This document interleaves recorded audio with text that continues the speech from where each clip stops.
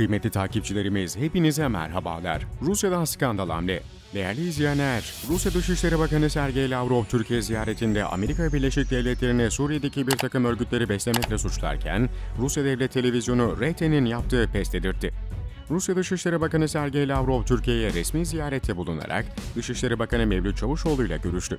Tüm dünyanın merakla takip ettiği zirvede Türkiye'nin sınır ötesi operasyonu ele alındı. Basın toplantısında Amerika Birleşik Devletleri'nin Suriye'de gayrimeşru şekilde bir takım örgütleri beslediğini belirten Lavrov, Türk dostlarımızın burada oluşturulan tehditlerle ilgili hassasiyetlerini dikkate alıyoruz ifadesini kullandı. Tüm bunlar yaşanırken Ceyhun Aşirov'un aktardığı habere göre Rusya Devlet kanalı RT'de terör örgütü YPG PKK'nın elebaşlarından Mazlum Kobanik odaklı Ferhat Abdü Şahin'le röportaj gerçekleştirildi. Haberimizin sonuna geldik.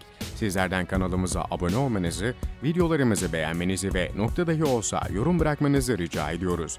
Bir sonraki haberde görüşmek üzere, hoşçakalın.